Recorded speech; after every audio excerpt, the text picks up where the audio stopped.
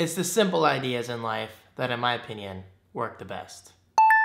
Hello guys, how are you? David Di Franco here from daviddifranco.com. Please stay tuned toward the end of the video for a pretty funny blooper. Scared the crap out of me. Welcome to my review of the charge base for Xbox One from Nyko. All right, so Nyko reached out to me and said, David, we want you to review any product of your choice.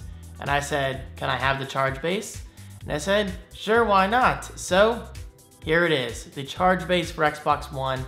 And I gotta say, it's brilliant.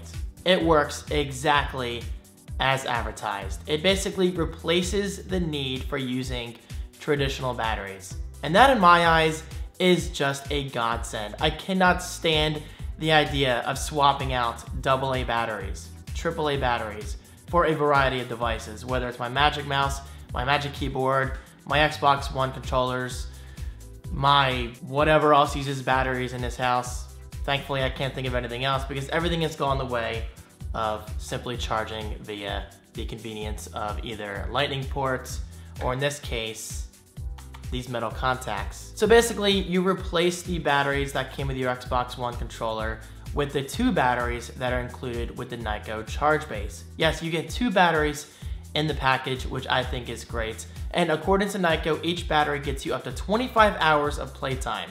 Now, I cannot exactly verify this information because it's pretty much impossible to track my playtime, but take my word for it, the batteries work fine. The charging process is incredibly easy. You put the batteries in the controller, you replace the caps that came with your controllers with these caps, which actually have a pass-through window so that way the contacts can meet the actual charge base, and boom, your Xbox One controllers are charging seamlessly. You literally just drop them into the base. There's no need to line them up with some kind of port. And that's all there is to it. You can charge two controllers at once, and of course you do have LED indicators to tell you whether a controller is charging. But not only that, I gotta say, Nyko, you guys did something really cool here.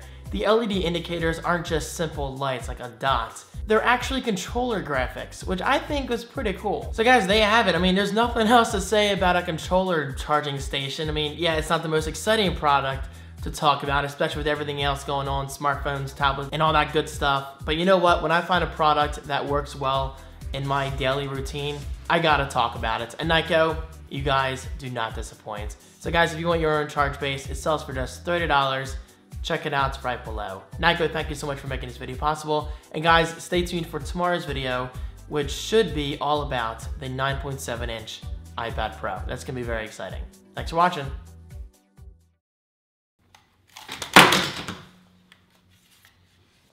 I almost I almost dropped the controller. That was violent.